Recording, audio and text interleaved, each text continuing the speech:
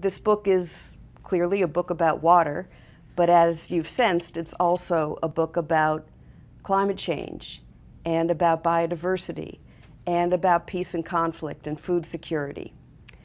So, what I do in the book is I explore how water connects with all those different facets of our challenges and also explore how water literacy, understanding how water works, how water moves across the landscape and through the atmosphere, can help us better address these concerns.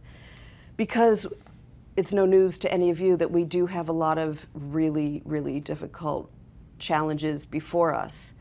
But we are not going to resolve those challenges with a visual graph. You know, I'm thinking of the Keeling curve. We're not going to really get at, at these problems by, um,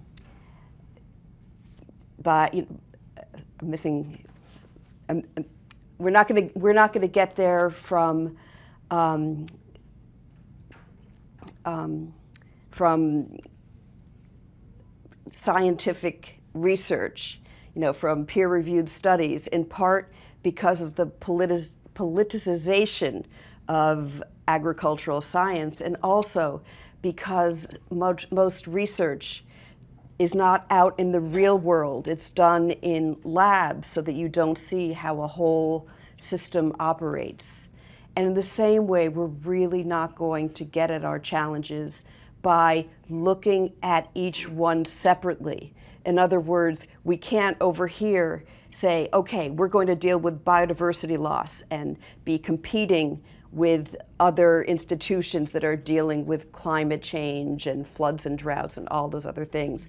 No, the way that we're going to really, really address these challenges is by looking at the whole system, asking questions like how, how does nature work and how, what might we learn from that?